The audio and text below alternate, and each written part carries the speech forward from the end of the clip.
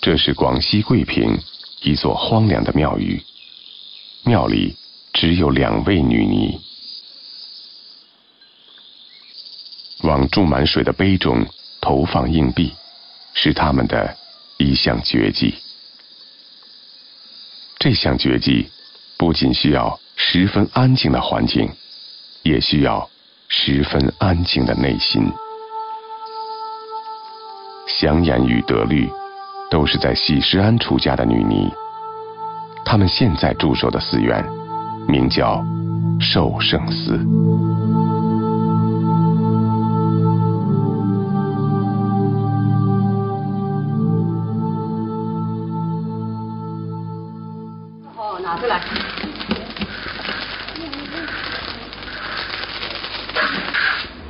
这是寿圣寺的茶叶作坊，师徒俩每天都要在此炒茶。早间采摘的新茶必须在日落前炒熟。等你这种情况下，你太媒体放的都要一百七度就可以了。祥言是宽能法师的徒弟，在喜石庵的时候，他收德律为徒，又把他带到寿圣寺。在喜石庵时，祥言学会了手工炒茶的全部手艺。到了寿圣寺后，他就着手建造了这间茶叶作坊。以前炒工他就这样炒，我忙里在那里烧火放凉茶，还是很多生意跑车都是炒茶的。手工炒茶有一套严格的工艺要求，先在生锅里杀青，然后要通过揉捻定型。那茶叶不能抓得太紧，抓得太紧会出水，会变黄色。香烟以做好的茶叶与周边的山民进行交换，有时也拿到附近的市场上出售，用来补贴寺庙日常的用度。等下拿草人来看。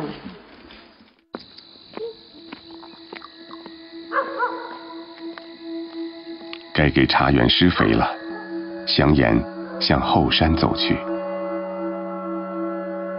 这座险峻而又美丽的山，名叫白石山，是中国岭南地区一处奇特的丹霞地貌。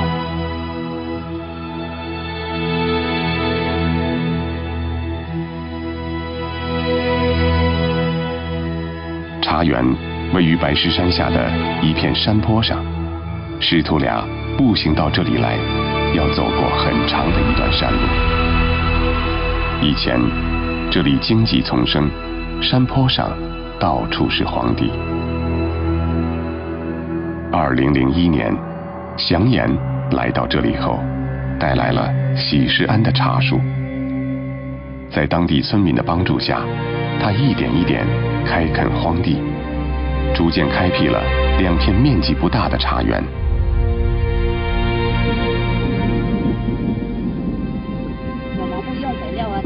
施农家肥的传统也得到延续。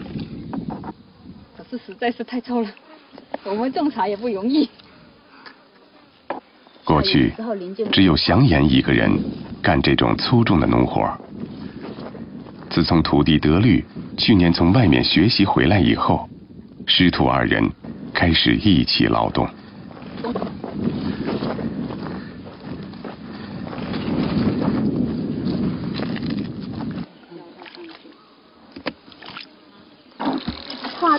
也没办法啊，为了这个茶叶香臭也得有人做啊。你如果怕臭的话，这个茶叶就没得香了。放化肥是不臭啊，也很容易一撒下来就好了。可是这个茶叶就没有那么香了，也没那么甜了。德律的母亲从广东老家过来，这些天暂时与他一起住在寺院里。母亲也来到茶园帮助干活，在德律母亲的脸上看不到因为女儿出家所带来的任何不安。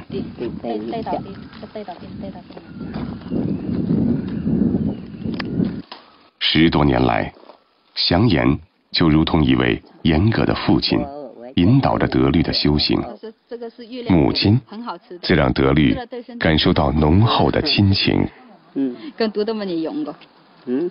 怀疑一个，一般的人都是那样子认为嘛，都认为出家了以后不要家了嘛，脱离了这个世俗里面的一切的俗事啊，或是红尘啊，嗯，就是看破红尘嘛，以为就是说啊，全部都看破了，就什么都不要了，不管是自己的亲人啊、父母啊，所有的一切都是不要了。其实不是，我们说的一个人哦，佛教里面说的，出家人，你这是就是嗯。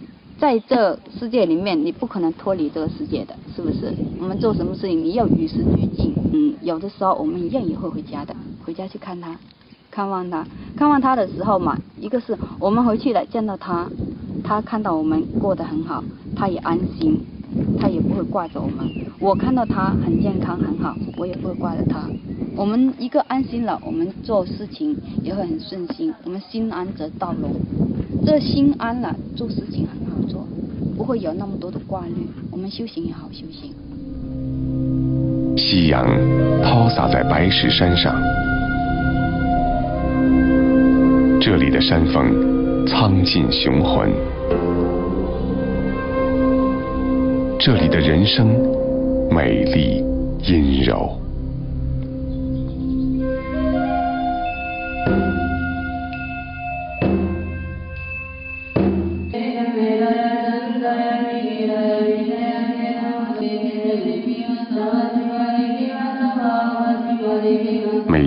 晨四点钟，祥言师徒与附近的山民居士一起做早课。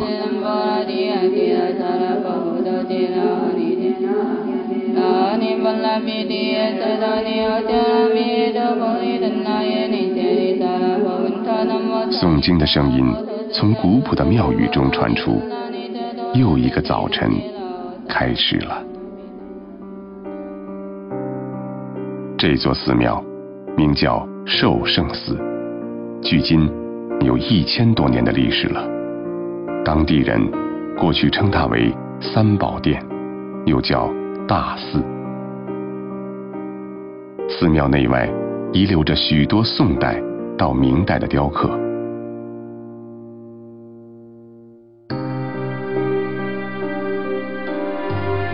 很长一段时期，这里没有出家人居住。房屋被附近的小学用来当做校舍。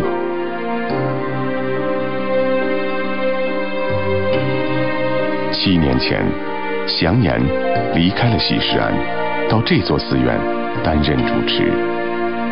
他四处募集资金，对寺院进行了简单的整修。寺院处在远离城市的山区，山民。以种植和采药为生，这里还没有被开辟为风景区。来这里的游客很少，有时候几个月都看不到陌生面孔。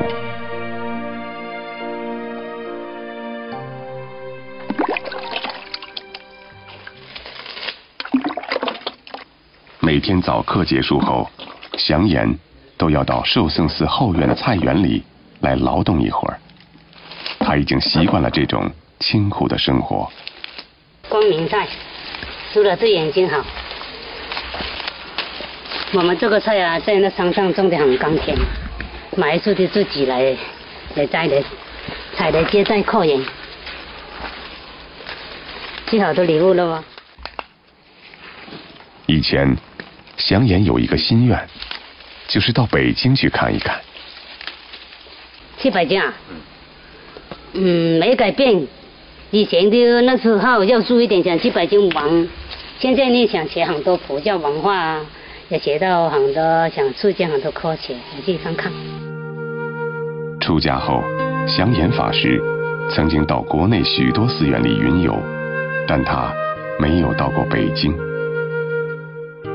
到寿圣寺担任主持后，他再也没有机会云游四方了。寿圣寺残破的现状很难改变，他的内心很坚持，不愿轻易放弃。我们哪一分工资都没有，你看这个庙能拿工资吗？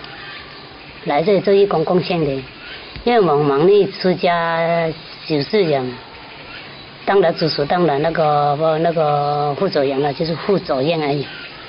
我来这里，不但不没有工资领，还要人家给我供养的钱，不用在上做。我不这样做不抖，因为我副主那个副主任，现在庙破破烂烂，你也看见了这么破烂。我刚帮人家当家很多钱，我当家欠债的。德律喜欢弹琴，这次从福建回来，他特地给自己买了一把木琴。德律在这里可以每月领到工资三四百元，工资主要是下山买些生活用品，另外打手机也要花钱呢。这把木琴花去了德律不少的积蓄，但是。也给他带来了很多乐趣。一个古琴哈，它这个古琴可以调心的，因为这个琴声它带点沉，它很沉静。你弹它，不管是弹它或是听它，听的时候你听的，听听听，你自己就会这个心就会平静下来，自己感觉很安静。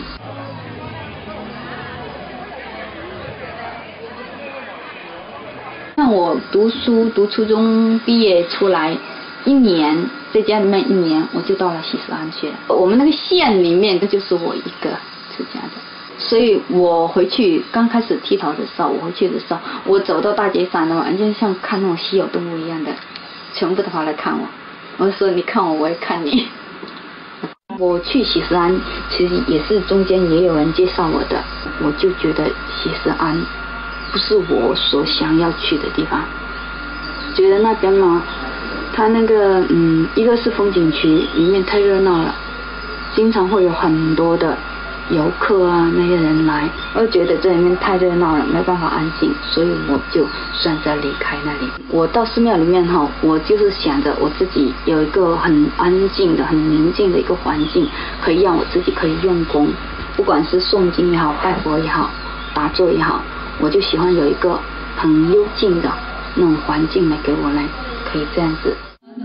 喜事庵在一座城市的郊区，寿圣寺处在偏远的乡村，甚至连一条通往外界的像样的公路也没有。这里的确安静多了。作为一名在外界见过世面的年轻女尼。德律会喜欢这里的生活吗？毕竟是自己喜欢的生活，自己喜欢了的话，就不会觉得会有什么样的不好，因为自己选择的，觉得这种生活还挺好的。如果是说不不是自己喜欢的话，是别人强迫性的话，那你做什么事情都会觉得不好的。夜晚，师傅用电脑查看资料。德律又弹起了木琴。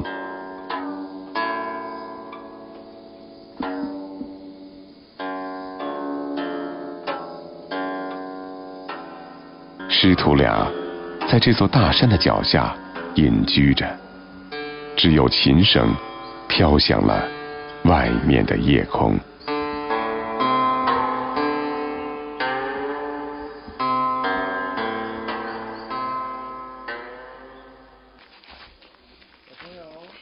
桂平喜事庵的主持红珠法师与另一座寺庙的主持占空法师一起来到寿圣寺。他们打算帮助祥岩修缮寿圣寺部分破损的建筑。那你们会会那么？这是后来嘛？他那个重点是后来的嘛？那是因为他留下，这些制度都建起来了。嗯。按照合理的这种。红珠与祥岩都是宽能法师的弟子。红珠是桂平市宗教协会的会长，他很愿意帮助祥言将这座寺庙修建好。这是对文物的损坏，这个这个很难得以修复的事。重修寺院是一件好事。退休的也可以。德律看起来却有点皱眉。话呢？这里局长就可以帮忙找了嘛。是啊。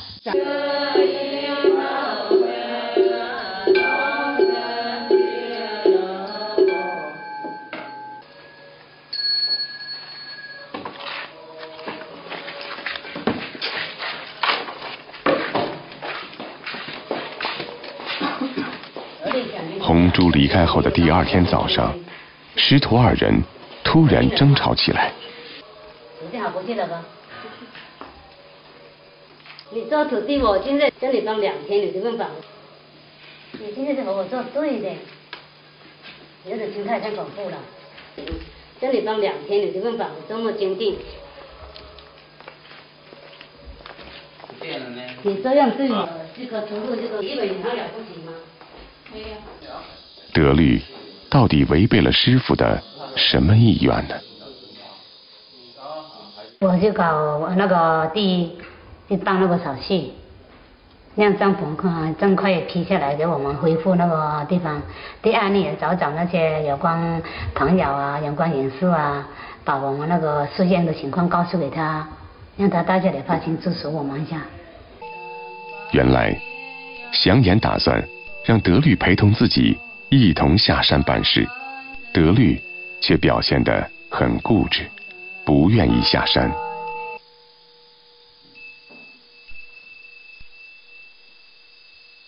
一般是家人都像我这样的，一般都不喜欢都露宿，搞那些杂事啊，呃，或者是接受这么多菩萨咒，都喜欢在庙里念经、拜佛、静修的。因为吸回来一受重伤都刚性不同，种种重伤、种种爬都都都持续。你心里有些时候遇到那个朋友回来，自己几天就爽不过来，他很无理对你的。你本来是一上一片上心，去想去弘扬佛法，去想去也就筹备一点经费啊，你把那寺庙搞好，搞路搞好，大家找你有一个休闲的地方，有个旅游的地方，有个礼拜的地方，一片好心。但是他骂你那些话呢，有些一般很难接受。师傅虽然能谅解徒弟，但一个人下山总是很不方便，尤其是涉及修建工程。祥言希望见多识广的弟子能帮自己出一些主意。德律执拗的态度很让他失望，但振兴寿圣寺的机会终于到来。祥言顾不上责怪弟子，叫他你好好的发心，或者弘呃带动那些基础啊、群众这里修行，要把那寺庙管理好。外商啊，各方面都搞好，功德无量。用祥言的话来说，他们师徒俩的关系就像父女，有批评也有赞叹，有时不对也可能打一下，不过这些都不会影响两人之间十多年的情谊。十多年来，德律。第一次顶撞了师傅，他心里很愧疚。他一直将师傅送下山门，目送他一路走远。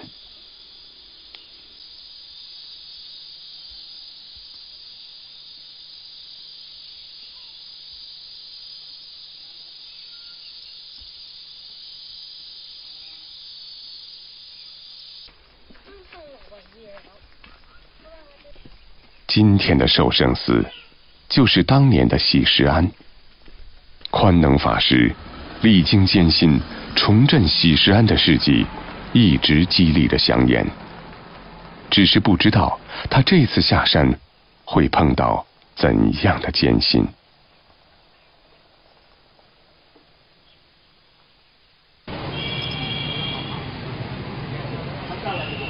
在桂平市，祥言。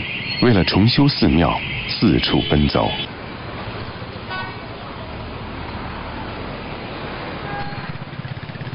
那个是那个是增加十米，增加三米。与承包商讨论工程的细节，双方几乎要说红了脸。经济要搞大的，你现在我的我们做事情是我的意见。我对我现在就是说按你的意思嘛。那个校验那个签合同是哪个校验？所有管理所有一切都是我负责的。我现在知道所有都是你负责，所以说我也考考虑到你，不是来休闲的。在奔忙中，祥言不慎跌伤了腰，住进了医院。拍过片吗？拍过片，好像是那个骨头，拍过防一张疤哈，拍过好像是这边那个骨头啊有一点伤伤了怎么办？可以站中间啊。刚刚结束的谈判与争吵，让他想起了山上的徒弟。如果此刻徒弟能在场，该多好啊！我叫他去下场棒树，他说他不去。我那多辛苦啊，或者腰痛，我我就马上要去了。都是我不走，你必须要这样做，你不可和他吵着，他吵你杠上去。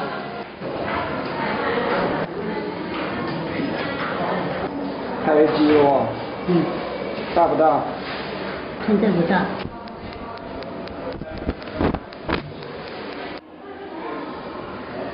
一个人在山上住了七年，来到城市里办事，香言自己也感到很不适应。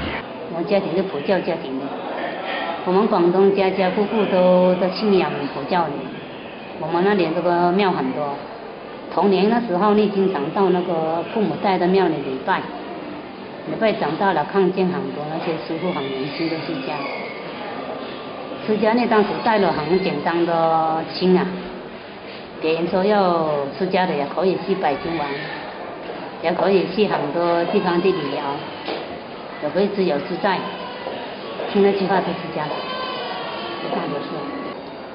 对于不愿帮助自己的徒弟得律，他爱之既深，责之也切。读了读了十几年书，他写书法、写中医啊，都都都给他写，一般放假写生啊。地主呢，就必须要往庙里回来帮忙。当时呢，他提出来要写中医，要写画画，要写书法，我都成就他的姻缘。我都忙，过年过节都忙在庙里，他不回来就在外面学习的。我想嘛，年轻人去学习学多一点，也也回来也弘扬佛法，也可以帮助到上。躺在病床上的祥言。感到十分疲倦，也许他应该回到寺院，跟德律再好好的谈一次。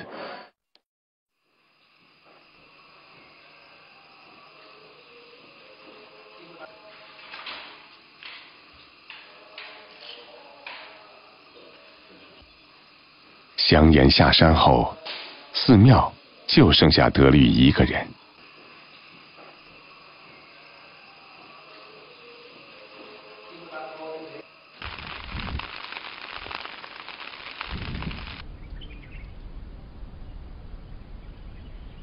像现在的话哈，这个天气这么热，在街上的话，嗯，我们在这里的话，晚上都不用吹风扇，还要盖被子。在街上的话，那一边的话，你就开有风扇通宵都没有这凉快。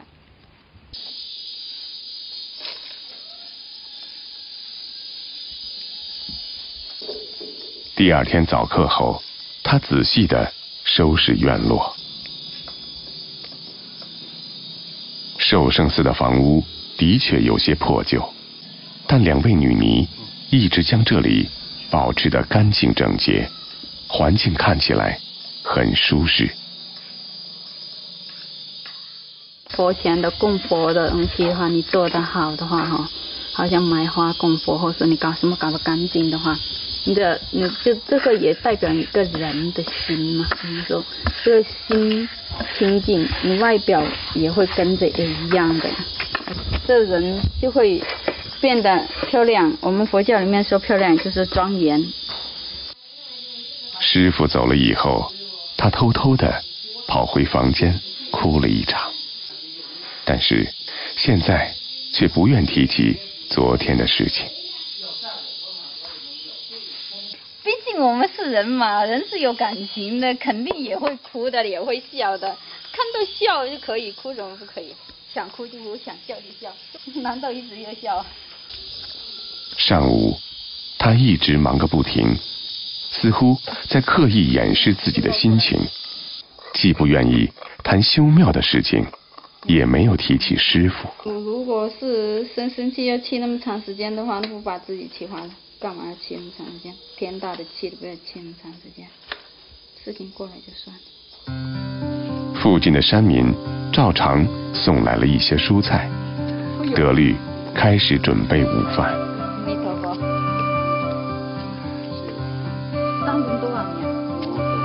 你累计系你买嘅啫咩？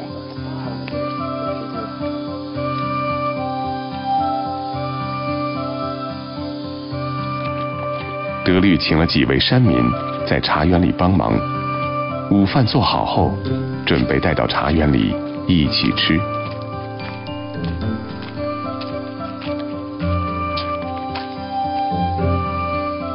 德律在农村长大，在喜石安时常去茶园工作，采茶的手艺并不比当地的山民差。双手采茶，就是在喜石安茶园里。练成的功夫。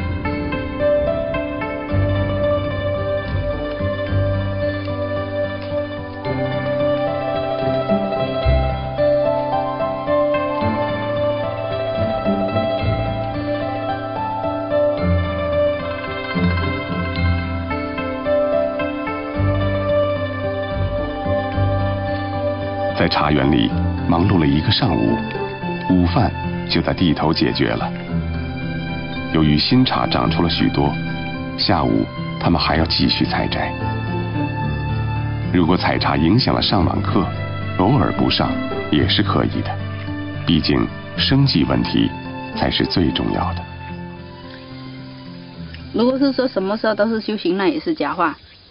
人嘛，我们不能说是说，嗯，如果真的是一切时都是修行了，那我们就是就是佛了，就是菩萨了，是吧？那我们总是会有打妄想的时候嘛，那那个时候就是不是修行的时候了。我们能提起正念的时候，那就是修行的时候。或许德律很想告诉师傅，他对这座寺院的感情与师傅一样深。或许他想说，自己不愿意这种深山静修的生活在未来受到打扰。但是未来的一切。谁也不能预料。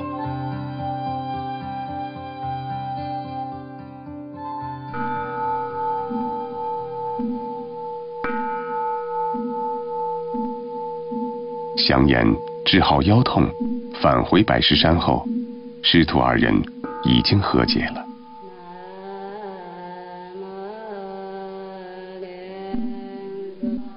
不过，德律还是很担心。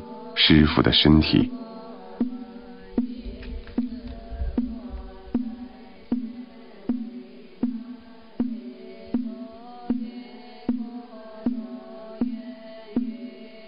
那人嘛，肯肯定免不了三灾六难的，是不是？总是会有不舒服的时候嘛，吃五谷杂粮是吧？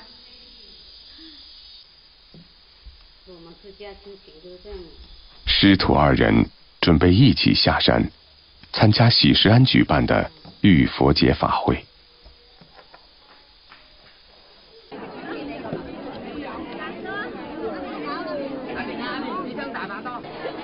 这是喜石庵一年一度的重大佛事活动。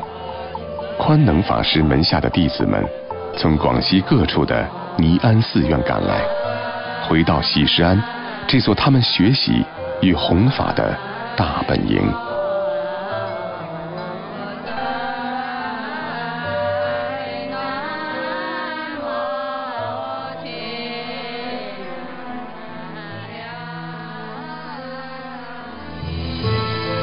绵延的灯河，预示着佛法的广大无边。一盏盏河灯随波而去，装载着祝愿、爱心和对未来的期盼。法会结束后，祥言师徒回到白石山的山民中间，他们的清修生活仍将继续。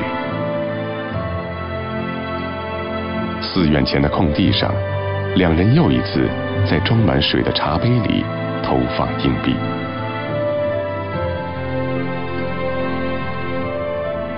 这是宽能法师当年传授的修炼定力的方法。宽能法师曾连续向杯中投入了一百一十三枚硬币，水在杯口鼓起，却不外溢。